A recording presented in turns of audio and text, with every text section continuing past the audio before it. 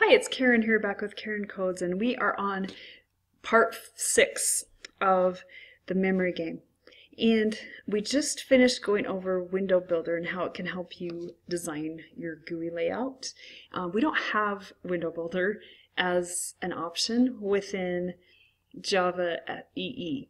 And if you have a newer edition of Java EE, Eclipse Oxygen, an option you have is to go to the window menu and there is a, at the bottom of it for Eclipse Oxygen, there is a, a, marketplace option.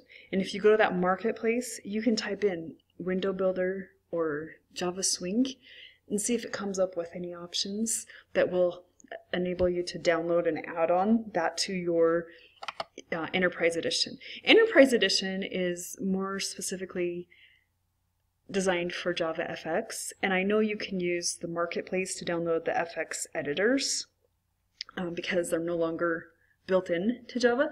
They were uh, in some previous versions, but then they split it out into its own open source project. So a lot of information there, but um, okay, back to our memory game. I kind of took it past, well, quite a bit past where it was so that I can make sure that it would work, so I could show you how it works. And I just want to run it now to show you what I changed it into.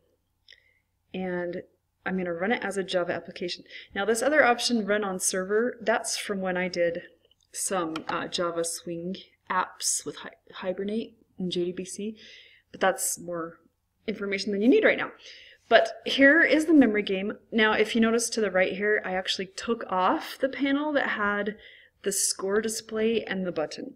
And I did that a couple of days ago because I got the game itself to work, but then I was feeling frustrated because I wasn't able to get the the button to actually replay the game and I wasn't able to get the score to actually display.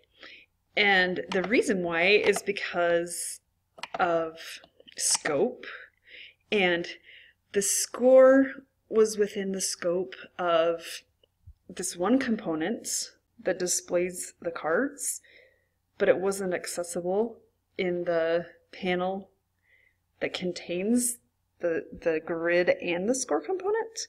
And so I couldn't get it to actually update the score. It would check the score the one time, but then be done. And so I just got rid of that component in frustration, but we can always add it back and figure it out later. But for right now, this part works.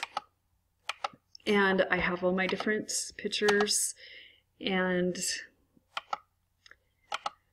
I'll just show you what it does real quick. It's nothing terribly exciting. What I wanted to have happen is once all the matches were found, I wanted a winner screen to come up.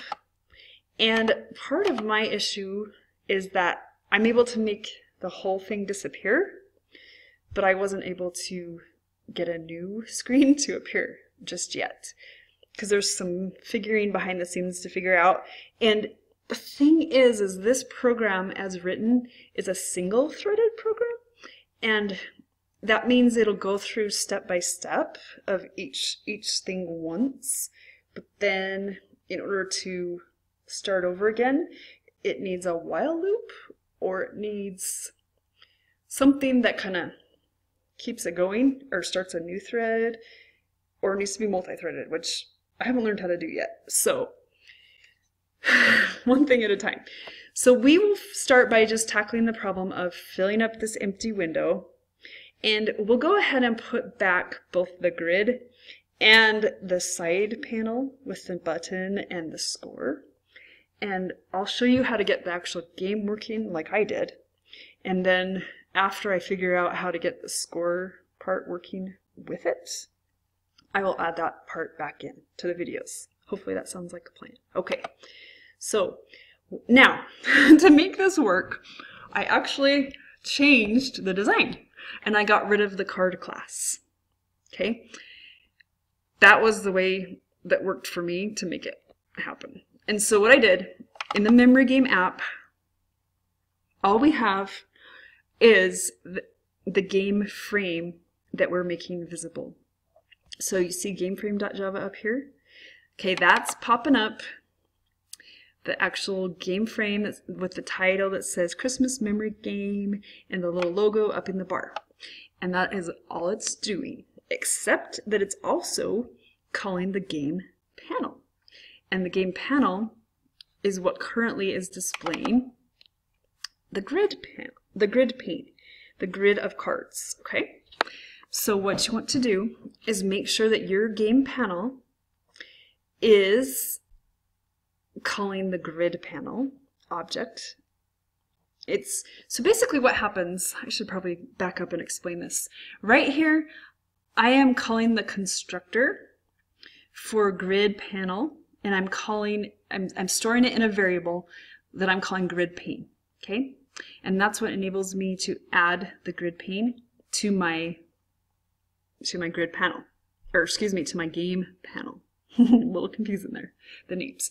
But okay, so right here we have our constructor. And what it does is it sets the layout and it's a border layout with the, the, the header, the footer, the center, and left and right if you choose to use them.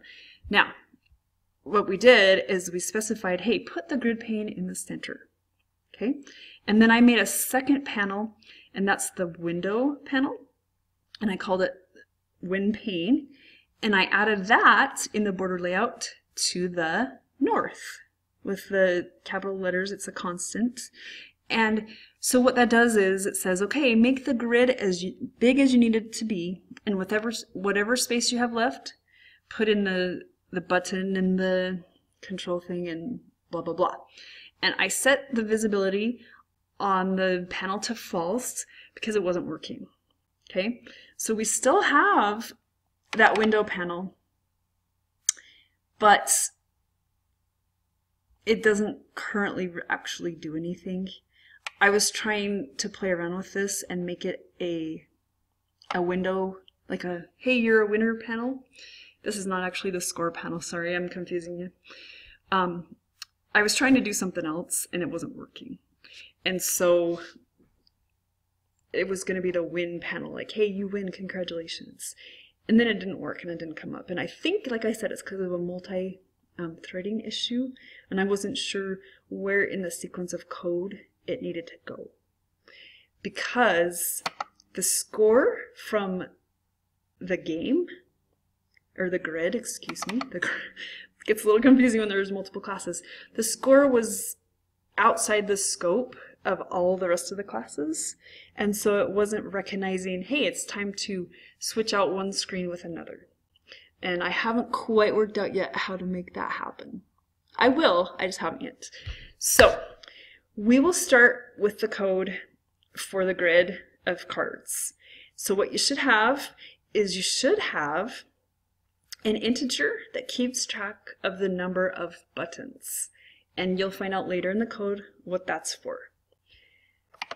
Okay, so that's a later thing. To, and all we're doing here is declaring it. We're initializing it, which is setting the value for it down inside the program in the constructor, okay? Right here, we have a static string array of pictures. And I took the names of the pictures directly from this memorygame.images folder. And because memorygame is the name of our class that we're already in, actually, never mind, it's not because of that. Well, it is because of that, but anyway, for right now, we're just going to do images as your folder name and then the slash and then the name of it. And just make sure that the name and the extension both match. You can have um, a ping, a JPEG, a, or a GIF, GIF. It doesn't really matter. You can either have also have JPE or JPEG. It, it's not picky. But just make sure that what you have here matches what you have here. And it'll work out for you. So I, I chose eight files, and then I have that I have a total of 10 in my folder. I've got the logo and I got the new star. And the new star is the card back image. And in order for it to appear, you need to have an image icon. So have put static J button buttons. The reason it's static is because we want to tell the program that no matter what class I'm in, if I alter string pics, I'm altering this string pix and not creating a new string pix. It's kind of complex, but that's what that means. So we'll stop here and then we'll come back and explain the next step. Thanks for watching.